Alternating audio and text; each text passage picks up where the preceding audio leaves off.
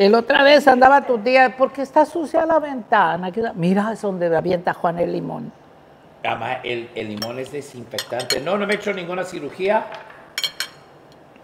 Nomás que he decidido ser el hombre sensual que era en, En los 20 a los 20. Entonces me puse pelo y ya no me, ya no me he visto como cholo. Se viste elegante ahora que trabaja. Porque ya no es, ya no es ratón, trabaja. ¿Verdad? ¿Cuántos años cree usted que duré de ratón, mami? ¿Quién sabe, hijo? No me acuerdo. Yo a mí no me diste ni un cinco. Estábamos leyendo este periódico. Mamá, no eche mentiras. ah. Sí, la norma me lo leyó. Usted no sale del TikTok y del Face. Bueno. Sí, ella me lo estaba leyendo porque yo, mira, ahorita todavía me bailan las, me bailan las letras así para leer. Islile, te voy a decir. Ella se llama Ana Victoria, la primera abogada con síndrome de Down de Zacatecas. Dicen que hay gente que no aprende por burra, porque no quieren, porque no les gusta estudiar. Aquí es un ejemplo de que sí se puede, de que el que quiere llega. Esta muchacha teniendo síndrome de Down, dicen que, que estudió, dice, es un ejemplo a seguir a pesar de las barreras. Ella siguió en paso firme hasta conseguir su meta. A ver, a ver. Ana Victoria logró lo que ella deseaba. Lela, tú que tienes los ojos más bonitos que los míos. Ana Victoria, la primera abogada con síndrome de Down en Zacatecas. Ajá. Es un ejemplo a seguir a pesar de las barreras. Ella siguió el paso firme hasta conseguir su meta. Ana Victoria logró una de sus más grandes victorias en su vida. Ser la primera mujer con síndrome de Down que concluye su carrera universitaria de Derecho por la Universidad Autónoma de Zacatecas. Fíjate. Con persistencia y empeño logró su sueño. Un ejemplo vivo de la frase aquella que dice, las limitaciones solo existen en nuestra mente. Exacto. Ana Victoria Espino de Santiago es una chica mexicana de 25 años, hija de Marisol de Santiago Ochoa y Jesús Espino Zapata. Nació un 30 de enero, el mismo día que Lupe, de 1999. Durante el transcurso de su vida ha tenido que padecer seña- señalamientos y discriminación por su condición, pese a lo cual, con el apoyo de sus padres y hermanos, salió adelante en todo su trayectorio, su, ¿Trayectoria? su trayecto Oh. escolar. Soy Ana Victoria Espino. Soy primera abogada con síndrome de Down en el mundo. Y Wow. mi límite es el cielo. Y nunca se acaba, dijo en una entrevista. La joven señala que tras sufrir de discriminación, tuvo que abandonar Zacatecas para poder estudiar en Jerez. Sí, es, es un lado, Jerez. Ok, entonces la. Ok. Y así poder cumplir sus sueños. Tras haber cursado la preparatoria en la modalidad en línea, presentó su examen eh, de ingreso a nivel superior para estudiar lo que más le apasiona, el derecho. Por lo que tuvo que adaptarse a un sistema educativo que de ninguna manera estuvo preparado para sus necesidades específicas. Fíjense. Y aquí tienen todo para estudiar, Y yo, siendo un burro ni de la high school, me gradué, ¿verdad, para que les dé becas, les dan becas, y aún así no quieren. Y esta muchachita pasó por muchos, me imagino, ah, trabajos, obstáculos, y mírala, dije yo, wow, sí se puede. No hay duda que el que quiere, puede. Entonces, ah,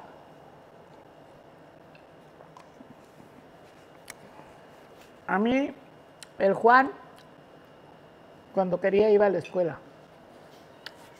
La high school se le atoró la carreta. Y luego yo lo miraba así por la ventana y él estaba picándose así la nariz con un picadiente para estar de estornude y de estornude, para que yo le dijera, no, no vayas, hijo, estás malo, estás enfermito, no vayas. Así era el burro este. Le voy a mandar los mismos buzos que usted me iba a mandar a mí, ¿eh? A pescar mis pecados al fondo del mar. Ah, ¿verdad? ¿No te gustó que te sacara tus pecados? Y no, hay muchos. Me acuerdo Gustavo se peleó con un maestro, lo corrieron. Y ahí iba yo, cada que la regaban, ahí iba y ponía yo mi carota. ¿Cuántas veces me corrieron de la escuela a mí? ¿Quién sabe?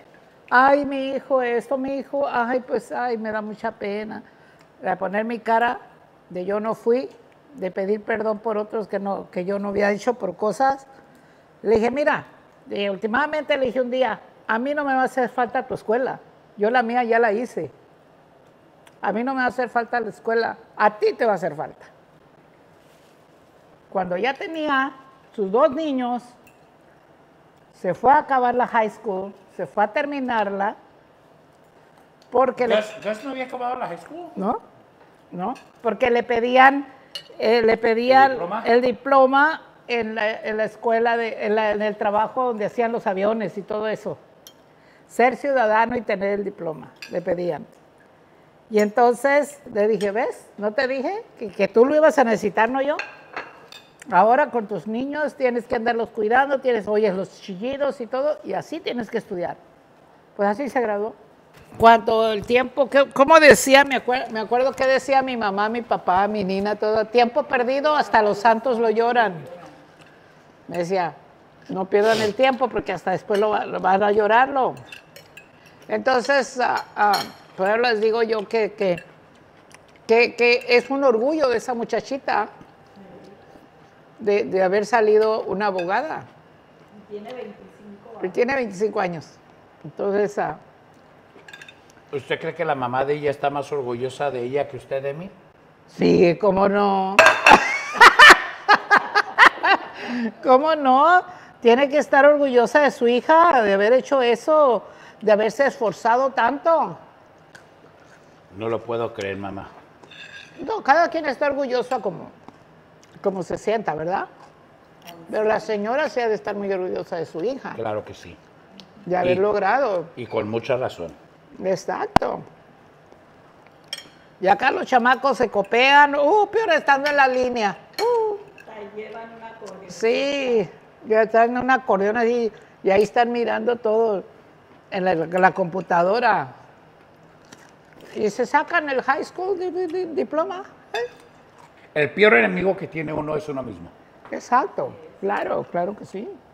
Que duda uno de sí mismo, que se limita mentalmente, que dice que no puede. Que dice, yo no la voy a hacer. Ajá. Pero es que es el cerebro. En cambio, si dices al cerebro, sí puedes, sí puedes, tú la vas a hacer, sí la haces. Entonces me propuse algo yo, Ey, porque a mí me, dijeron, me decían en las redes sociales que yo sin el, sin el nombre de mi hermana, sin el nombre de mi hermano, no eres nada. ¿ya? sin el apellido, el apellido no podía lograr nada. Y me metí a un negocio. ¿Vendes puros ah, que- abulones? Ah, ¿Vendes abulones? ¿Qué es abulones? Ábalos, ¿cómo se llaman? Sabulones, eso que. Oh, les quedo aquí los. ¿Y a poco no están bien chidos? ¿Cuándo vas a traerme? No se crean porque... Me metí, me metí a un negocio que no tiene nada que ver con la familia. Ajá. ¿Y luego? Nada que ver con la familia, nada que ver con los medios, nada que tenga que ver con cualquier persona de aquí. En la compañía hay 40 mil, 45 mil agentes. Santo Dios. ¿Y luego? Y ahorita en el país entero de 45 mil, estoy en el segundo lugar de crecimiento. ¡Gualelo!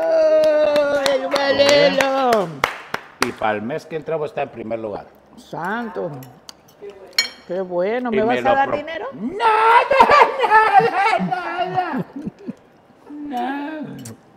Voy a llorar. ¿Qué? Voy a llorar. No cabe duda de que cuando uno se propone hacer algo, Claro. y que nada lo va a parar, ni los pleitos con la mujer, ni las alegatas, ni los chismes, ni los diretes. ni que la gente te diga que no puedes. Wow. Simplemente tarde que temprano. Las cosas dan un giro. Y ver los resultados. Sí, Así es. Amén. Entonces, para el mes que entra voy a estar en el primer lugar de toda la nación, todo el país, por el año completo. Entonces,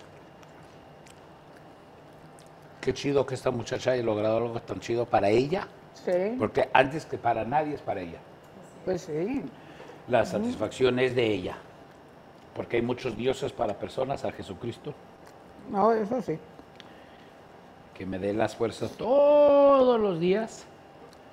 ¿Y sigue yendo a la iglesia? ¿O por ir a, ¿Quiere al que le predique yo a usted aquí, mamá? ¿De qué quiere que le hable? No, solo te estoy preguntando si está yendo a la iglesia. ¿Quiere que le predique aquí o cómo? No cómo? necesito tus predicaciones, yo las oigo en mi iglesia. Yo lo que quiero saber... Voy o a las 9 o a las 11, los domingos, Ajá. clase de matrimonios los viernes, Mm. clase de varones en la oficina donde estamos, de 6 a 8 hay una junta que hacemos, era a la misma hora que era la clase de varones a las 7. Entonces, o le decía a Dios que era más importante el negocio, o le decía a mi gente que era más importante Dios. Entonces me junté con unos muchachos de la oficina Eh. y mejor hicimos un estudio bíblico para hombres acabando la junta de las 8 de la noche, todos los lunes. Entonces hay como 30 varones ahí. Desde que llegué a la oficina, 25 personas han recibido al Señor. Oh, Se han bautizado, bueno. se han bautizado. Por eso te ha llegado. Entonces, Por eso te ha llegado la... La bendición. ya bendiciones para mí, no es para usted, para que se lo gaste allá a las máquinas. Fíjate. Pero dice la palabra de Dios que el que ayuda a su madre, largura de días tendrá. ¿O no? Yo siempre he ido. ¿En qué me ayudas? Dame a, dando. a venir a cocinar, a hablar con usted. El otro día que andaba ahí, andaba ahí toda, toda- toda chueca, que no miraba nada. A ver, hijo, ¿ontas? ¿ontas? Mira, y luego pusiste la foto y una vieja me sacó ahí en el TikTok. Con el logo. Ese dijo que era la vieja aquella de la novela. La tunca maclovia. Catalina Kriller. Catalina Cris. Buscan el momento para burlarse la gente. Ahora me llamó alguien, no sé si es de allá de con Gustavo Adolfo, de alguien.